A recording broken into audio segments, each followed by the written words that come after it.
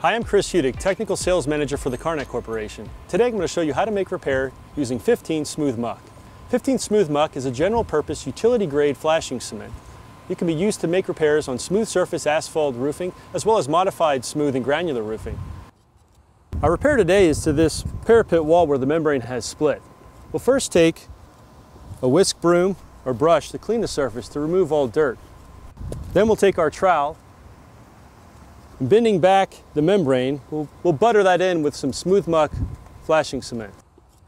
We'll press the membrane back down and then we'll take and trowel another layer of flashing cement over top of this repair. We're going to be using 6 inch wide 31 fiberglass membrane.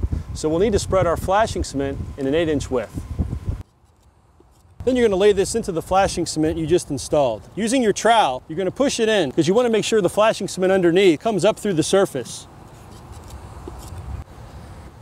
Once the fabric is embedded in, you're going to take more flashing cement and apply it over top of the fiberglass membrane to completely encapsulate it. Now that you've finished, make sure your edges are smooth. Feather those out onto the roof. After you've done that, the roof is sealed and watertight. For more information, visit karnakcorp.com.